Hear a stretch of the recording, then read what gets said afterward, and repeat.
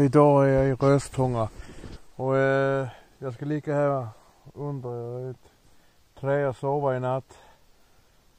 Eh, det sägs att det ska eventuellt bli minusgrader och att det kan komma norrsken i hela landet. Eh, som en väntar mig. Men hittills jag har jag inte sett någon norrsken.